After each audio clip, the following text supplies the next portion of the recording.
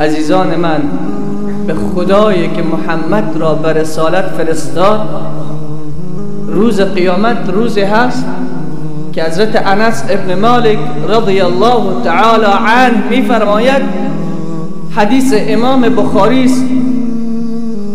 رسول خدا روز به ما سخنرانی کرد که پیش از این چونین سخنرانی نکرده بود. بعد در بین صحبت رسول پاک صلی الله علیه و سلم فرمود لو تعلمون ما اعلم. لو تعلمون ما اعلم ای اصحاب من و از صحابه به تابعین از تابعین به تبع تابعین. همین قسم تا به ما این حدیث رسیده گویایی که امروز رسول الله صلی الله علیه و سلم به ما و تو این حدیث را بیان می‌کنه فرض بکو اگر امیج محبوب ما رسول الله صلی الله علیه و سلم می بود همین حدیث از زبان خودش می شنیدیم. چی حس بر ما رخ می‌داد چی حالت به ما پیدا می‌شد اگر امروز نیست ولی این سخنش به ما رسیده.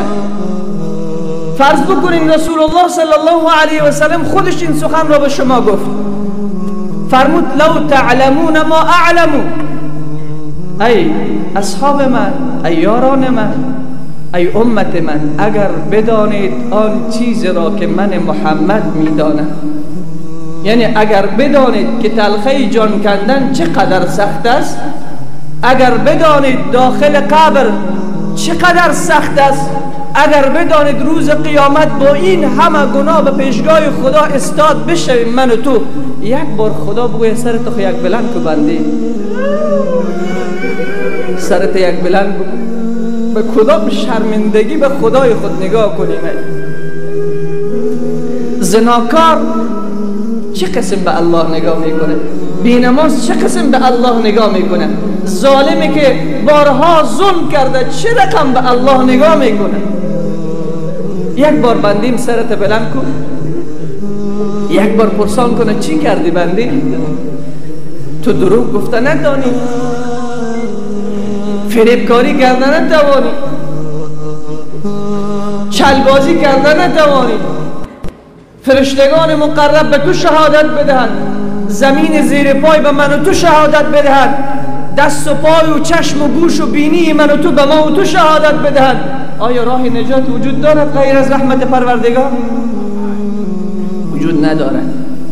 فرمود لو تعلمون ما اعلمو اگر بدانین آنچه را که من می‌دانم. لضحکتم قلیلا بسیار کم میخندیم. امروز چقدر میخندیم خنده نمک زندگی است. خنده نمک زندگی است. پیامبر فرمود اگر بدانین آنچه را که من از حول قیامت می‌دانم اگر بدانید آنچه را که من در کنار میزان می‌دانم اگر بدانید آنچه را که من در کنار پل سرات می‌دانم. لضحکتم قلیلا کم کم میخندید ولبکیتم کثیرا زیاد گریه می‌کنید امروز سر گریه موتون مردم میخندن. ای وای به حالشان.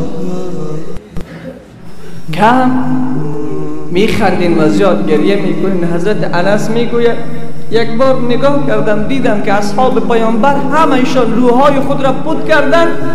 گریه ایشان بلند شد صدای گریه ایشان به گوش شنیده می‌شد. مثل که زنبور غمغم بکنه همین قسم غمغم می‌کردن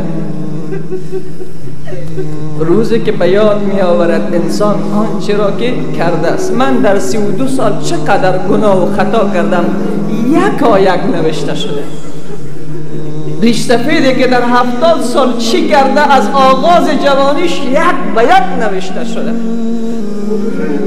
وقت نامه اعمال را باز می‌کند به پیش روی من و تو چی میگه این انسان گناهگار؟ یا ویلتا! ای وای! برای من هیچ گناه خرد و بزرگی نبوده الله اینجا جمع کرده. چی حال داریم بروز جوانی که موسیقی میشنوی روزی که به یاد می آورد انسان آنچه را که کرده است. در تاریکی شب در روشنایی روز در خشکه در آب در هر جای هر خطا و گناهی که کردی روز قیامت به یاد می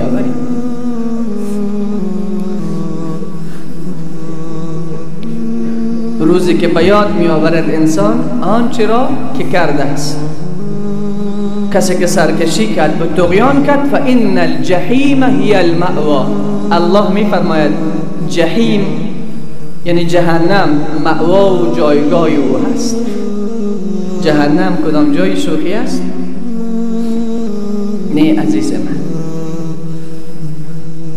باور بکنین اصحاب پیامبر صلی الله علیه و سلم اینقدر از روز قیامت می ترسیدن اصحابی که الله در بارهشان فرموده رضی الله عنهم و رضو عن. خدا از اونها راضی شده و اونها از الله راضی است. یک آیه در قرآن وجود دارد. این آیه واقعا انسان را می تکاند الله می فرماید آیه هفتادی سوره مریم است.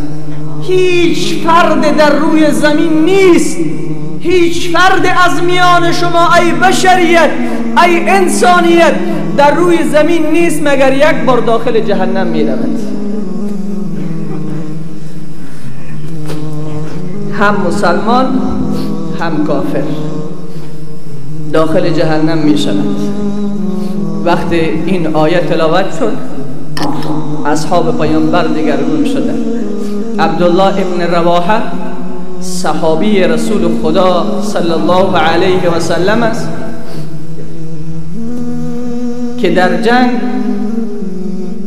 که در جنگ موته است شهید می شود رسول خدا صلی الله علیه و سلم در مدینه نشسته.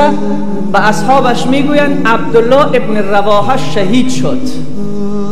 این شاهدی ها رسول خدا به اصحابش می‌دهد عبدالله ابن رواحه شهید شد. در یکی از غزوات پیش از این که به غزوه برود زنش نشسته است عبدالله ابن رواحه می آید سر خود را به آغوش زن خود می گذارد شروع می کند به گریه کردن. وقتی عبدالله گریه می کند زنش این حالت را می بیند زن هم شروع می کند به گریه.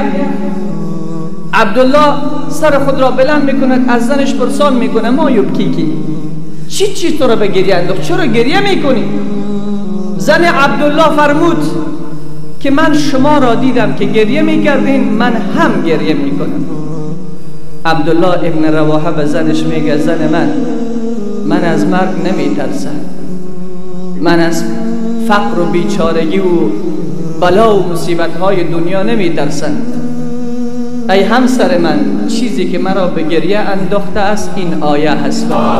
هیچ فرد از شما نیست مگر اینکه روز قیامت داخل جهنم می شود چه مسلمان چه کافر. برای مسلمان ها بردم و سلام. آتش جهنم سرد می شود مثل که به حضرت ابراهیم خلیل سرد شده بود. بگو الله اکبر. آتش جهنم سرد می شود برای مسلمان ها قسمی که به حضرت ابراهیم خلیل آتش نمود سرد شده بود. عبدالله ابن رواحه میگه لا ادری انجو منها املا من نمی‌دانم که وقت وارد جهنم شدم دوباره از جهنم بیرون می‌شوم یا همون جا میمانم؟ یا همون جا میمانم؟ رسول خدا صلی الله علیه و سلم می فرماید ای ای امت پیامبر. ای امت رسول خدا صلی الله علیه و سلم وقت امت پیامبر سر پل صراط قرار می‌گیرند پیامبر محبوب صلی الله علیه و سلم می فرماید این طرف پل صراط و او طرف پل صراط را فرشتگان صف کشیدن. چقدر فرشته ها ما شما را دوست دارد ولی چقدر ما تو بی وفا شدیم. این طرف پل سرات این طرف پل سرات فرشته ها صف کشیدن. می‌دانیم که چی دعا می‌کنن؟ وقتی که امت پیامبر می‌خواهد عبور بکند این فرشته ها چی میگن؟ یا الله! ای پروردگار ما سلم سلم امت پیامبر را سالم از این پل سرات عبور بده. سالم از این پل سرات تیرشان بکن.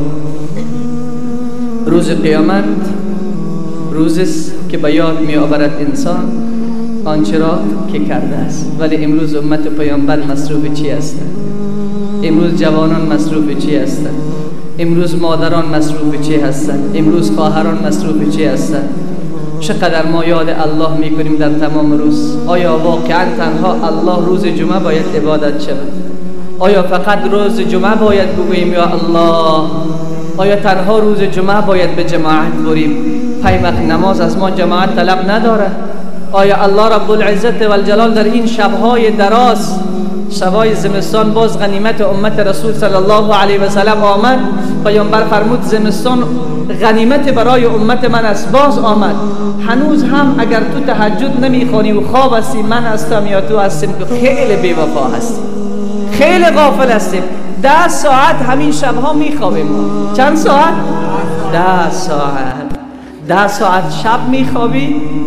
بیست و چارده ساعت دیگر مصروف دنیا مصروف لهو و لعب مصروف فیسبوک مصروف صفحات مجازی الله را چی وقت پرستش می‌کنی یوم یتذکر الانسان ما سعا روزی که به یاد میآورد انسان آنچه را که کرده است.